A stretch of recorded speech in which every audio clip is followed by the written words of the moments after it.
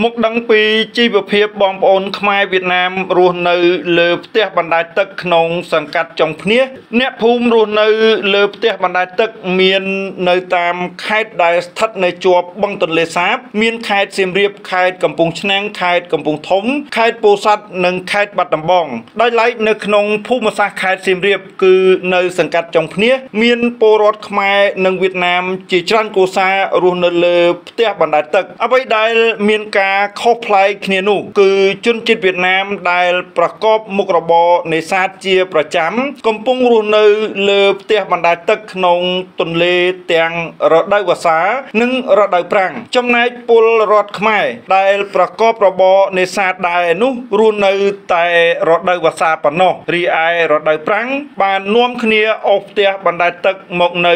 ឯដីគោកលោកប៊ុនយ៉ាងហាយអាយុ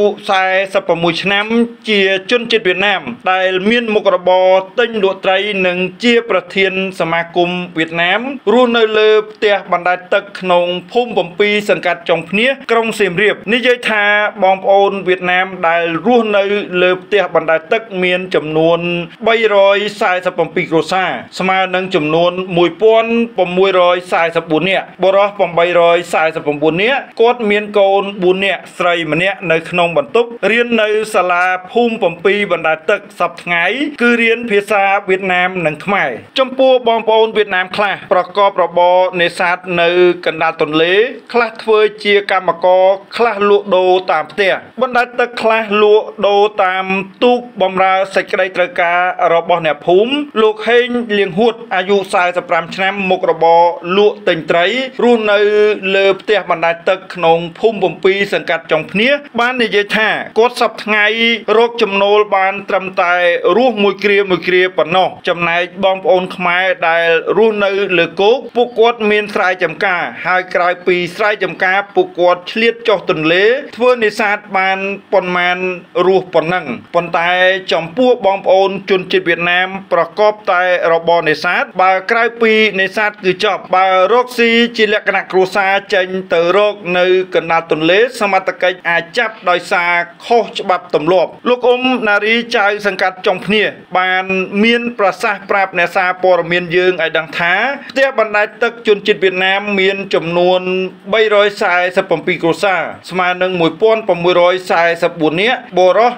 849នាក់ជនជាតិវៀតណាម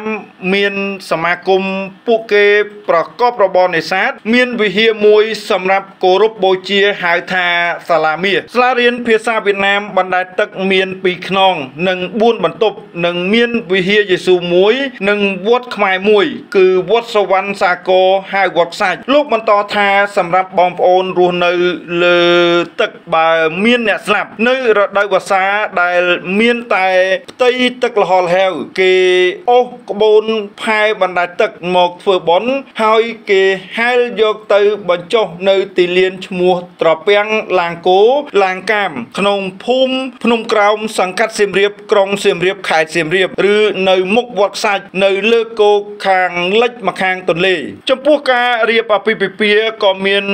ក្បូនផែបណ្ដែតទឹកសម្រាប់ធ្វើរោងការដូចនៅលើគោកដែរពេលមានបញ្ហាសុខភាពឈឺស្កាត់ពួកគាត់ជិះទូកឡើងមកលើគោកចូលទៅព្យាបាលនៅមណ្ឌលសុខភាពចុងភៀសហើយបើឈឺធ្ងន់បន្តទៅព្យាបាលនៅមន្ទីរពេទ្យបង្ងាយខេត្តដោយឡែកបងប្អូនខ្មែរដែលទៅប្រកបរបរនេសាទនៅកណ្ដាលទន្លេបណ្ដែតផ្ទះលើទឹក សម្រាប់តែខែវស្សាខែប្រាំងពួកគាត់អូសផ្ទះបណ្ដែតទឹក មកលើគោកពួកគាត់មានដីដែលរដ្ឋាភិបាលបានចែកជូនក្នុងមួយគ្រួសារទំហំ7ម៉ែត្រគុណនឹង15ម៉ែត្រព្រមទាំងមានបានក្រីក្រផ្ដល់ជូនដែរដោយគ្មានការរើសអើងពូជសាសន៍នោះទេ ក្រុមហ៊ុនហ៊ូតជាផ្គត់ផ្គង់សម្ភារៈសំណង់ទូទាំង25ខេត្តក្រុង